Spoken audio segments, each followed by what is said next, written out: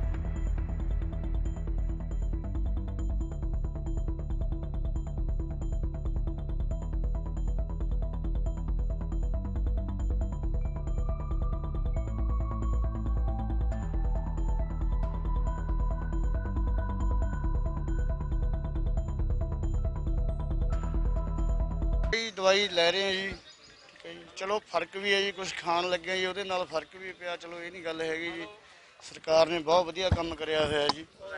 ਠੀਕ ਹੈ ਜੀ।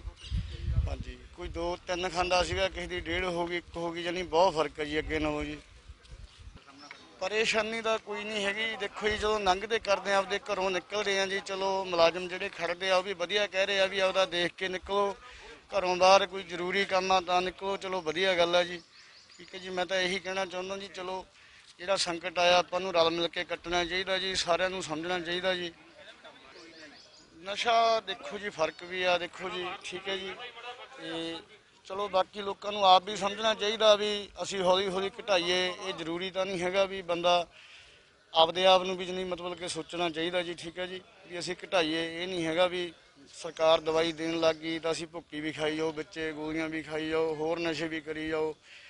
ਬਲਕਿ ਮੈਂ ਇਹੋ ਜਿਹੇ ਬਹੁਤ ਬੰਦੇ ਦੇਖਦਾ ਵਿੱਚ ਜੀ, ਦੇਖੋ, ਦਵਾ, ਦਾਰੂ ਵੀ ਪੀਂਦੇ ਆ, ਦਵਾਈ ਵੀ ਖਾਂਦੇ ਆ ਭੁੱਕੀ ਵੀ ਖਾਂਦੇ ਆ। ਕਿਸੇ ਚੀਜ਼ ਤੇ ਖੜਦੇ ਨਹੀਂ ਹੈਗੇ, ਫਿਰ ਉੱਥੇ ਸਰਕਾਰ ਵੀ ਕੀ ਕਰੇ ਜੀ?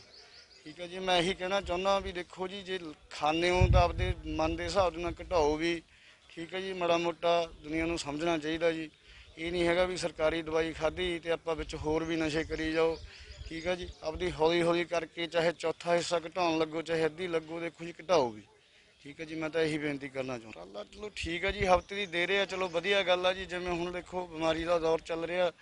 ਠੀਕ ਹੈ ਜੀ, ਚਲੋ ਵਧੀਆ ਗੱਲ ਆ ਜੀ ਵੀ ਹਫਤਾ ਬੰਦਾ ਲੈ ਲੂਗਾ ਜੀ, ਬਾਹਰ ਨਹੀਂ ਨਿਕਲੂਗਾ ਜੀ, ਫਾਇਦਾ ਵੀ ਆ, ਚਲੋ ਹਫ਼ਤੇ ਦੀ ਇਕੱਠੀ ਮਿਲਦੀ ਆ।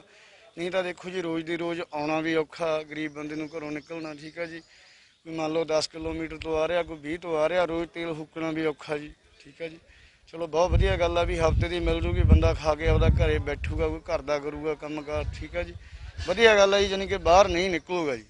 ਇਹ ਇਸੇ ਬਾਰੇ ਮੈਂ ਬਹੁਤ ਵਧੀਆ ਕਹਿਣਾ ਚਾਹੁੰਦਾ ਇਹੀ ਗੱਲ ਹੈ ਪੰਜਾਬ ਸਰਕਾਰ ਦੇ ਦਿਸ਼ਾ ਨਿਰਦੇਸ਼ਾਂ ਹੇਠ ਹੁਕਮਾਂ ਤਹਿਤ ਸਿਵਲ ਹਸਪਤਾਲ ਅਮਲੋ ਵਿਖੇ ਜੋ ਓਟਸ ਕਲੀਨਿਕ ਹੈ ਇਹਦੇ ਵਿੱਚ ਅੱਜ ਜੋ ਅਹ, ਜਿਹੜੇ ਨੂੰ ਲੋੜਵੰਦਾਂ ਨੂੰ ਜਿਨ੍ਹਾਂ ਨੂੰ ਕੋਈ ਨਸ਼ਾ ਕ- ਛਡਾਊ ਮੈਡੀਸਨ ਇੱਥੇ ਮੁਹੱਈਆ ਕਰਾਈ ਜਾ ਰਹੀ ਹੈ ਸੋਸ਼ਲ ਡਿਸਟੈਂਸ ਦਾ ਅਸੀਂ ਫਾਸਲਾ ਰਖਵਾਇਆ ਹੋਇਆ ਹੈ ਤਾਂ ਕਿ ਇਹਨਾਂ ਦੀ ਦਵਾਈ ਜਿਹੜੀ ਹੈ ਸਰਕਾਰ ਦੀਆਂ ਹਦਾਇਤਾਂ ਮੁਤਾਬਕ ਡ- ਮਤਲਬ ਇਹਨਾਂ ਨੂੰ ਇਕੱਠੀ ਜਿਹੜੀ ਐਸਐਮਓ ਸਾਹਿਬ ਵੱਲੋਂ ਇਸ ਸਿਵਲ ਹਸਪੀਟਲ ਵੱਲੋਂ ਦਿੱਤੀ ਜਾ ਰਹੀ ਹੈ ਤਾਂ ਕਿ ਕਿਸੇ ਕਿਸਮ ਦੀ ਕੋਈ ਇਹਨਾਂ ਨੂੰ ਦਿੱਕਤ ਨਾ ਆਵੇ ਤੇ ਕਰਫਿਊ ਦੀ ਵੀ ਪੂਰੀ ਪਾਲਣਾ ਹੁੰਦੀ ਇਹ ਲੈਣ ਵੀਰ ਜੀ ਜਿਹੜੇ ਬੰਦੇ ਨਸ਼ਾ ਕਰਦੇ ਨੇ, ਉਹਨਾਂ ਦੀ ਲੈਣ ਹੈ। ਹਾਂਜੀ, ਇਹ ਦਵਾਈ ਦੇ ਰਹੇ ਨੇ ਸਰਕਾਰੀ ਹਸਪਤਾਲ 'ਚ।